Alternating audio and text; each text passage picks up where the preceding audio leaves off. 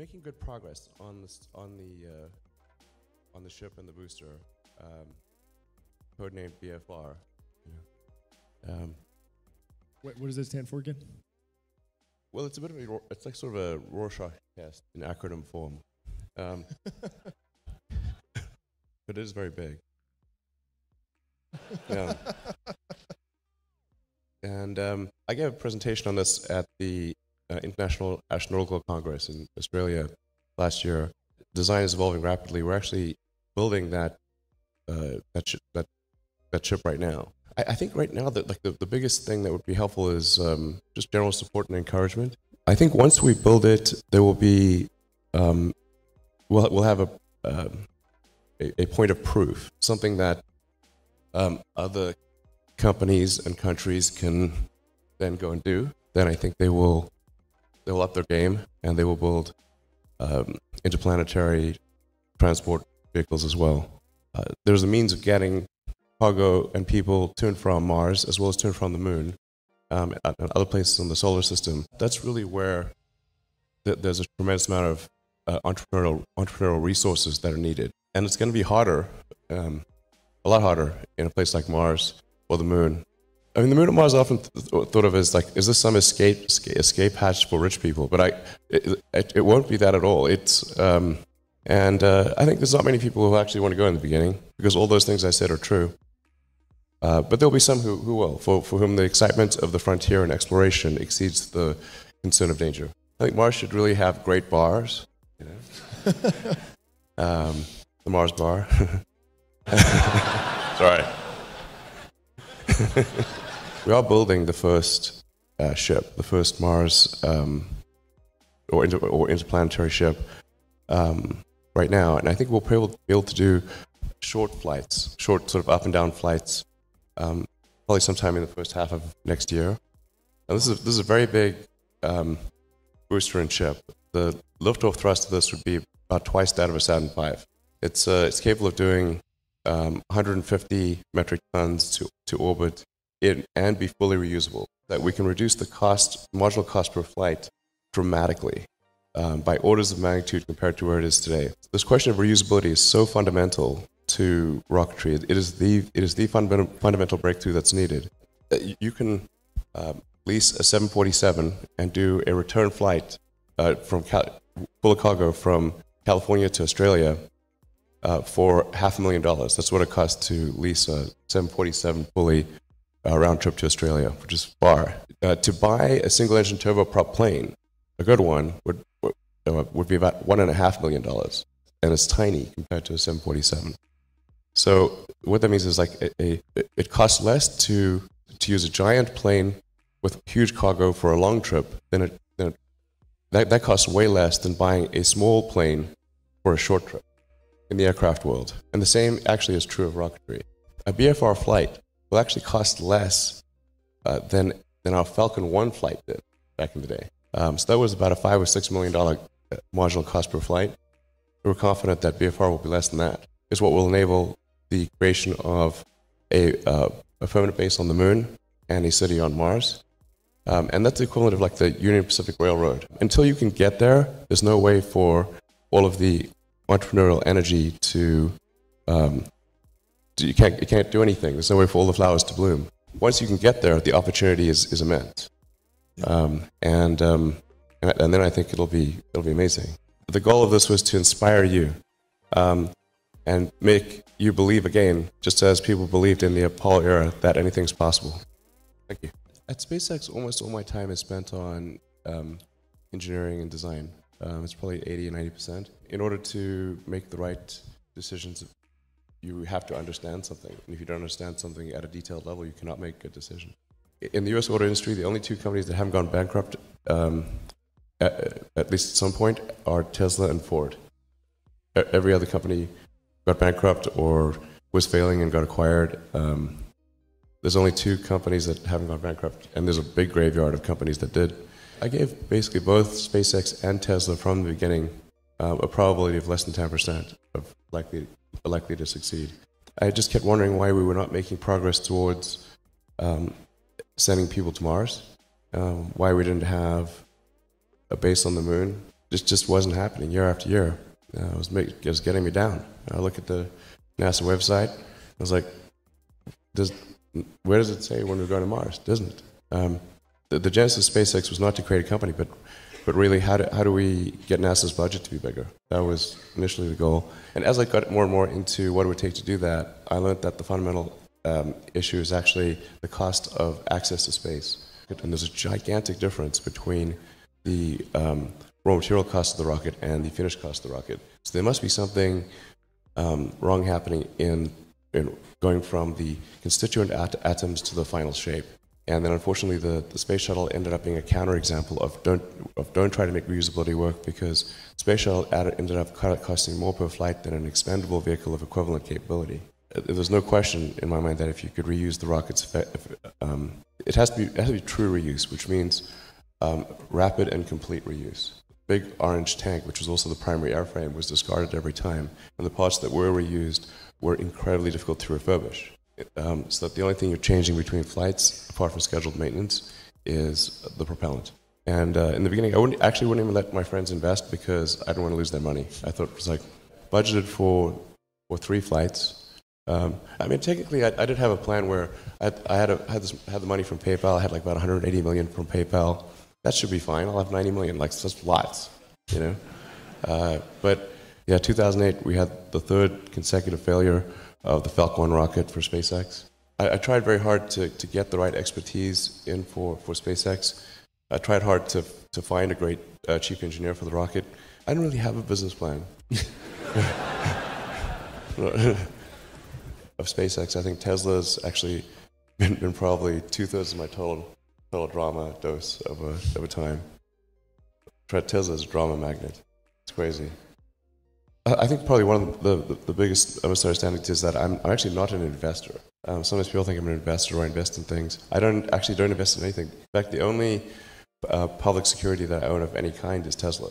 I wanted to start the tunnel uh, from where I could see it from my office at SpaceX. So I said, well, let's just carve off a part of the parking lot across the road. Now we're making uh, good progress. Um, and uh, we're funding the company for merchandise sales just have fun with the boring company. Um, but my time allocation is, is about literally about two percent. We are all much smarter than we think we are, but much less smart, dumber than we think we are. They, they define themselves by their intelligence, and they they don't like the idea that a machine could be way smarter than them, so they discount the idea, which is fundamentally flawed. That's the wishful thinking uh, situation. I'm really quite close to, I'm very close to the, to the cutting edge in AI, and it scares the hell out of me. Um, you can see this in things like AlphaGo, which went from, in the span of maybe six to nine months, it went from being unable to beat even a reasonably good Go player to then beating the European world champion who was ranked 600, then beating Lee Sedol 4-5, then beating the current world champion, then beating everyone while playing simultaneously.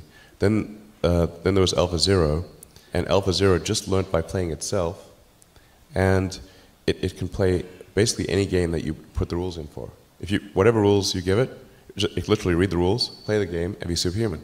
Nobody expected that rate of improvement. If you ask those, so, those same experts uh, who think AI is not progressing at the rate that I'm saying, I think you will find that their predictions, that, that we'll see this also with, uh, with self-driving. Uh, I think probably by end of next year, self-driving will be will encompass essentially all modes of driving and be uh, NHTSA did a study on, on Tesla's autopilot version 1, which is relatively primitive, and found that it was a, a 45% reduction in highway accidents. The advent of digital superintelligence is one which is symbiotic with humanity. I think that's the single biggest existential crisis that we face, and the, and the most pressing one. I, I'm not normally an advocate of regulation and oversight I mean, I think it, one should generally err on the side of minimizing those things. But this is a case where you have a very serious danger to the public. The danger of AI is much greater than the, the, the danger of nuclear warheads by a lot. Um, and nobody would suggest that we allow anyone to just build nuclear warheads if they want. That, that would be insane. And mark my words, AI is far more dangerous than nukes. Far. So why do we have no regulatory oversight? This is insane. I'm not really all that worried about the short-term stuff, things that are, um, not, like narrow AI is not a species level risk, but it is not a fundamental species level risk, uh, whereas uh, digital superintelligence is. Uh, so it's really all about laying the groundwork to make sure that, um, and obviously the things that I believe in, like extending life beyond Earth, making life multiplanetary. Um, I'm a big believer in sort of um, Asimov's foundation series, or the principle that you, you really want to, we want to make sure that there's enough of a, of a seed of human civilization somewhere else uh, to bring civilization back. Um, and perhaps uh, shorten the length of the dark ages. The Mars base might survive. It's more likely to survive than a moon base. But I think a moon base and a Mars base um, that, um, that could perhaps help regenerate life back here on Earth would be really important, and to get that done before a possible World War III. Again, I'm not predicting. it just seems like, well, if you say given enough time, will it be? Most likely, given enough time. This, this is this is, has been our pattern in the past. Uh, so sustainable energy is also obviously really important. It's tautological. If it's not sustainable, it's unsustainable. Yeah, how close are we to solving that problem? Well, I think that the core technologies are, are there with the wind, solar. The fundamental problem is that there's an unpriced externality in the cost of, uh, of CO2. Um, you can start off with a low price, uh, but then that price, and, and, then depending upon whether that price has any effect on the parts per million, parts per million of CO2 in the atmosphere, you can adjust that price up or down. So it's really up to people and, and governments to put to put a price on, on carbon, and and then automatically the right thing happens. It's it's really straightforward. M more carbon in the atmosphere is is actually good, but up to a point. Well, right now the only things that are really stressing me out in a big way are AI, obviously. Um, that's like always there, and uh, and uh, I'm working really hard on Tesla Model 3 production, um, and uh, we're making good progress, but it's hugely hard work. But those are the two most stressful things in my life right now. But we, we do want a close coupling between collective human intelligence and digital intelligence. Um, and Neuralink is trying to help in that regard by um, creating a, an interface between um, a high bandwidth interface between AI and your and human brain. So there's got to be essentially vast numbers of, of, of tiny electrodes uh, that are able to read write from your brain. Of course, you know security is pretty important in this situation, to say the least. Um, I was going to say I'm not coming with. I'm keeping my brain air gapped. Yeah. Well, I think a lot of people will choose to do that. Uh, that is an AI, the AI extension of you, uh, a tertiary layer of intelligence. Um, so you've got your limbic system, your cortex, and, and the tertiary layer, which is the digital AI extension of you. And that high bandwidth connection is what um, achieves a tight symbiosis. I, I think that's the best outcome. I, we don't talk that much about Starlink, but essentially it's intended to provide low latency, high bandwidth internet connectivity throughout the world. Um, that, there actually will not be enough cognitive processing power on board the satellite system to, to uh, in any way be a Skynet thing. Like it's the, um, the Starlink system will be important in providing the funding necessary for SpaceX to develop um, interplanetary spacecraft. Um, and at the same time, yeah, helping people who have either no or super expensive connectivity and giving people in urban areas more of a competitive choice. The form of government on Mars would be somewhat of a direct democracy where um, you vote on issues, where, where, people vote directly on issues instead of going through representative government. In, in, you know, when the United States was formed, representative government was the only thing that was logistically feasible because there's no way, it was no way for people to communicate instantly um, a lot of people didn't even have really access to, uh, but I think on Mars, most likely it's going to be people, everyone votes on every issue, and that's how it goes. Uh, there are a few things I'd recommend, which is keep laws short. Um, long laws, it's like that's that's something suspicious is going on if there's long law. you know, if, if you if the size of the law exceeds the word count of Lord of the Rings, someone's. well, I'll put the grad studies on hold and do something um, to help build the internet or do something useful on the internet. Um, and that's um, when I talked to Kimball, and um, you were working in Canada at the time. Yeah, that's right. Um, and uh, said, hey, why don't we try to do this, this company in Silicon Valley? And uh, that, that's where I decided you really want to go to the end consumer. If you've got great technology, you want to go all the way to the end consumer. Uh, don't tell it to, to, to some bonehead legacy company that doesn't understand how to use it. Either solar, electric car, or space. Um, I thought space was like the least likely to have somebody, the least likely to attract um, entrepreneurial talent. I thought like like nobody is going to be crazy enough to do space, so I better do space. Um, so I started off with with space first. Um, Harold had done something called Rosen Motors, which was like an attempted EV startup. And I said, well, I've always been super interested in electric vehicles. I was going to do my PhD on um, advanced energy, energy storage. I was going to do grad studies on on advanced energy storage techniques for electric vehicles. And um, and so JB said, well, have you heard of this company called AC Propulsion?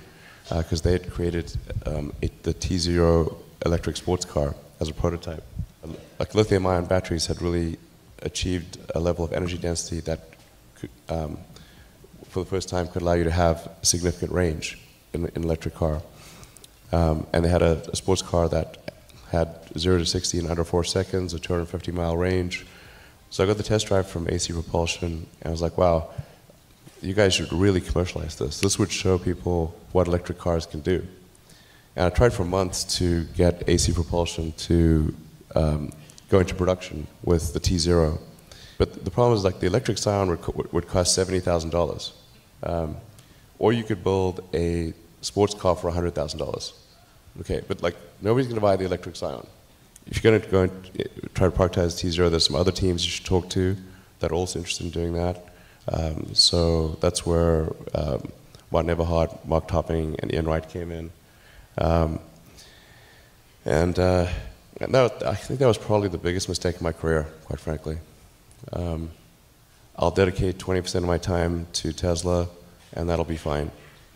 Um, but actually, uh, it, it didn't. Um, things really melted down, went through hell. We had to recapitalize the company. Kim was there seeing it in real time. The, the truth is stranger than fiction. All the crazy stuff you see in that show, Silicon Valley, the reality is way crazier than that. yeah, you've seen it too, right? Thank you.